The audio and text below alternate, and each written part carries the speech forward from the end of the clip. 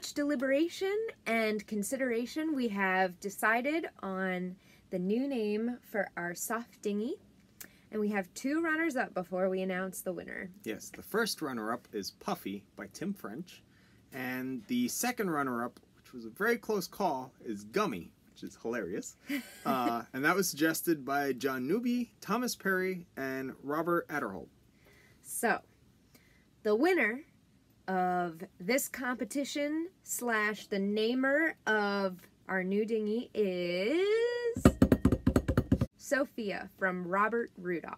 So thank you, Robert. Yep. And we love the name Sophia, which means in Greek, as you pointed out, lover of wisdom.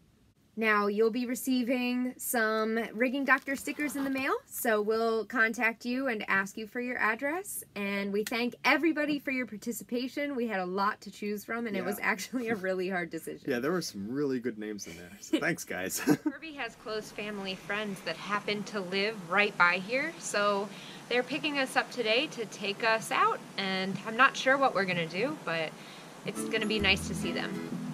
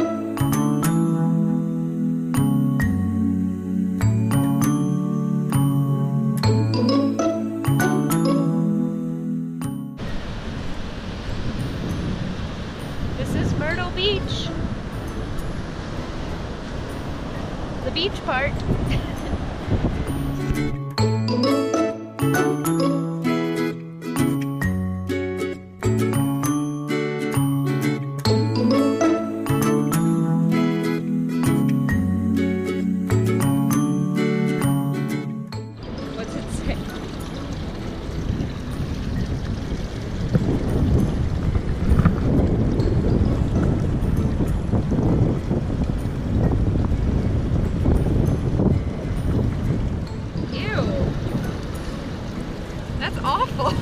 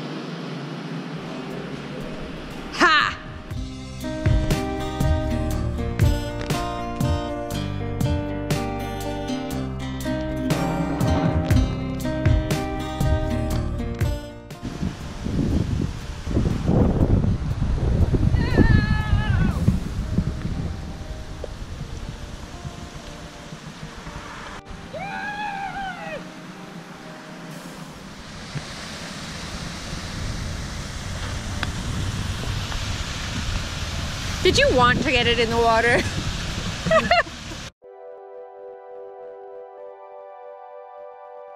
The world is your oyster. Don't be upset if you fail. Keep trying. Keep trying. Keep thinking you can do it. And you will get there.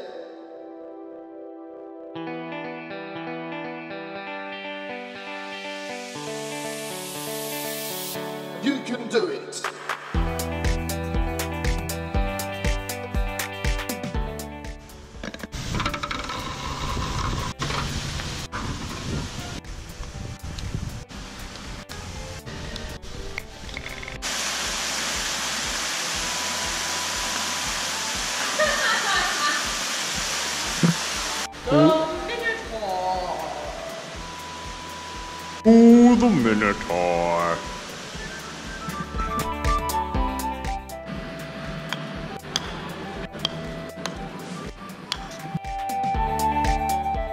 Yes. Don't let the bad times stay bad. Use those experiences like an armour. Use them as knowledge of what to do next. Yep. Game number one came down to Maddie, 79, and Herby, 86. Game number two. How's it going? you just want to hear that you're winning. How's it going? Game number two is Maddie with 10 and Herby with 5. And this is approaching hole number four.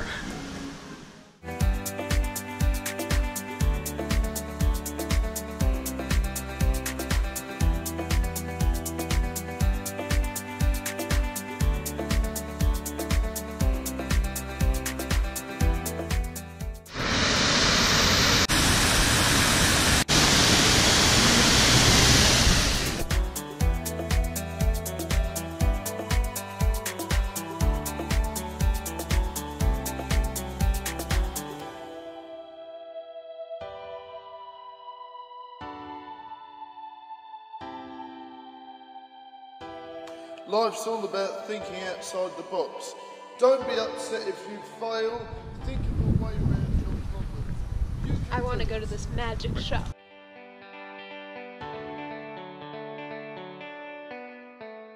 Turns out that the place is closed until March. So we're gonna go somewhere else to eat. So instead of eating at the House of Blues, we're just gonna walk around and find somewhere else to eat. Because that's what we do.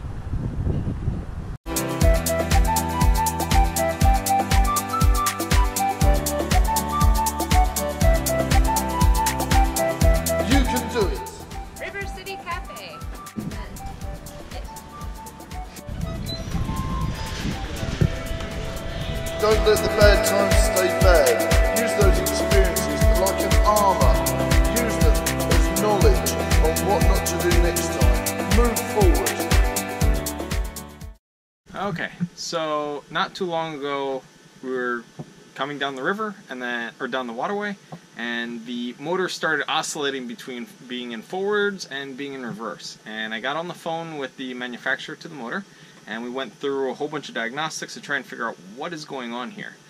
And in the end, we figured out that the motor's controller died somehow, again, and uh, and after running some tests, we got it so that it would run in a direction, but it would only run at full throttle, so it wasn't very useful. So, uh, the manufacturer he sent me another uh, control module again, and I'm gonna pop this guy in, and then we're gonna send the old one back to him. That way he can look at it and figure out what went wrong because this control module is only uh, it's it's only a couple months old.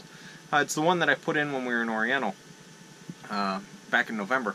So the one we had before that, I mean, that went for like two years with no problems at all. So it's not like it's a problem-plagued device.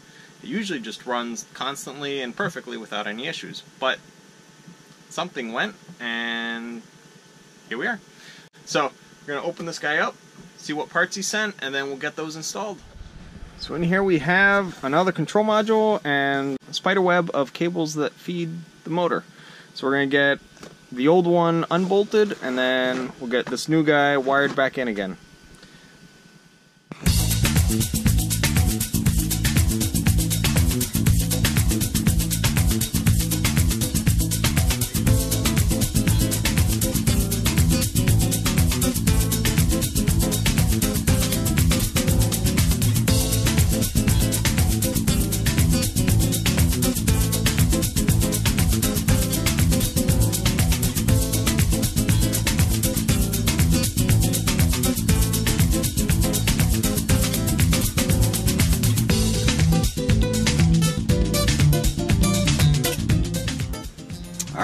We got the motor all wired up and hopefully it'll run. So I'm gonna plug it in, turn it on, and give it a run, see what it does. Now, I think I figured out the culprit. It was very salty. Uh, had a whole lot of condensation on it, and I licked it, which in hindsight wasn't the smartest thing to do because know, it's down in our bilge. But anyway, it was a very salty lick. So with that, that means that there's salt on it, which means that salt was getting there, attracting moisture, causing corrosion, and that can lead to the death of electronics quite quickly. So yeah, it's only four months old at this point, but if it's full of corrosion, it's just going to kill it. So finding that it had that moisture and then noticing all these little droplets all over everything on the motor, I wiped the whole thing down in Lysol, at least everywhere I could reach, to get all the moisture off, but more importantly, get all the salt off. And uh, then I wipe down the bilge inside there, that way uh, any areas that are salty won't splash onto it, and hopefully we'll keep it all drier and less salty, and therefore much better.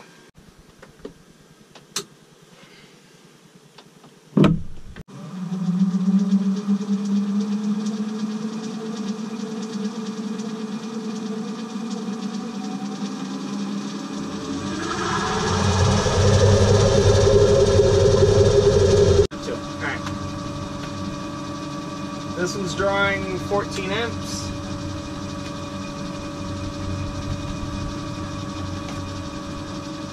Doing 13. Okay. Yeah. We're drawing 25 amps. So it's all looking good. It runs. The gauges are telling us what it's supposed to be saying. So it looks like we're all fixed. One thing I want to make clear so we've had a lot of issues with the motor breaking down and us getting stuck places because the motor's not working. It's actually not as inconvenient as it sounds it would be. So the motor, yes, it breaks down and then we're stuck somewhere.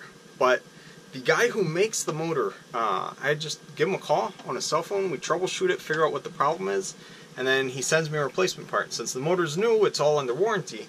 So when we broke down on Oriental, we were there for a couple weeks waiting for the part to come in and we were in a great town having a great time for those two weeks while we waited so it wasn't that bad and then the part came we put it in We're on our way. Uh, there was zero cost to us. And then once again we were here.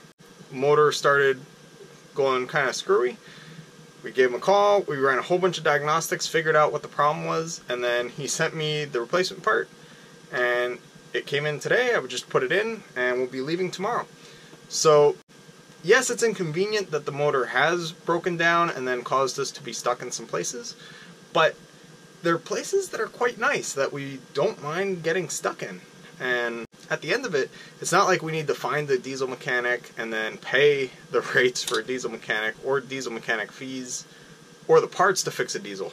I mean, all those just add up a lot. So a simple thing like your motor breaks down means you're going to be real quick a couple grand in the hole before you're moving again. Where in our case, we sat here for a couple days, uh, parts came in, we put them on ourselves. It, everything's small and light because it's all little electronic buggers, and we're on our way at zero cost to us for repairing the engine. So, yes, the electronic has its issues that when it goes, I have no idea what's wrong on it because it's a bunch of circuit boards and I don't fully understand how they work. So I need to give them a call to troubleshoot and figure out where the problem is. But it's it's that easy to do. You can pick up a phone and with a multimeter you can figure out what's going on. He'll tell you what the answers are supposed to be and you'll tell him what the machine is reading and that's it. So, if you're planning to replace your engine, uh, give electronic motors a, a consideration if you are one of those who you know you're just gonna motor forever and maybe put your sails up sometimes, don't do it. Uh, you're gonna hate it. You're gonna regret it. It's gonna be the worst choice of your life. In that case, do a diesel motor. But if you actually sail, it's nice because it's it's a wonderful, very reliable backup when you need it. And when you don't need it, you put your sails out and you sail away because you're a sailboat with an auxiliary motor.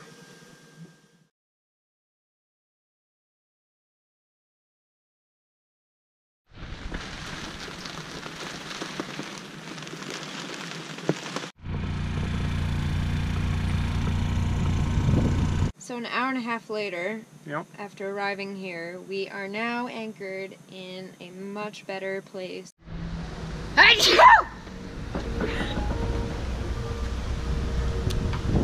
So, thanks so much for watching. And if you want to become a sailing buddy, you can click the link down below to our Patreon account. Don't forget to like this video and subscribe to our channel. And when you click subscribe, make sure you click on the little bell in the annotation. That way you get notifications as soon as our next video is uploaded. Thanks so much!